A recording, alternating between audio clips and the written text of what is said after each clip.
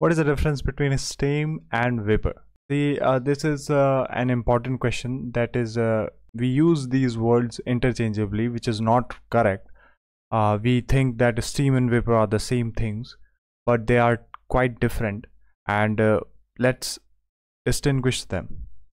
First thing what is steam? See steam and vapor both are gaseous state but steam is a gaseous state of water and vapor can be of any substance right? Vapor is a gaseous state of any substance.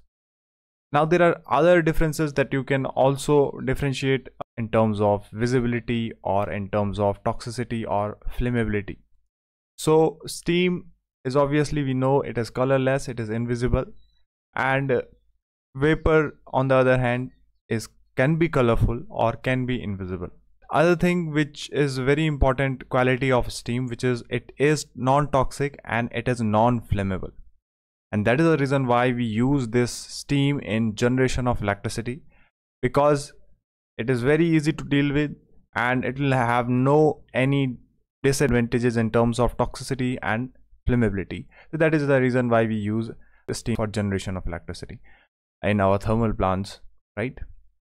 And many other pl power plants in uh, if you talk about other uh, right vapors or gaseous state of any substance.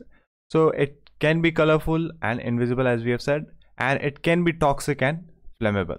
Why do we use vapor? We use vapor of any substance because uh, it might help it might be used in perfumes and mist formations and there are other uses as well. So this is the distinction we have discussed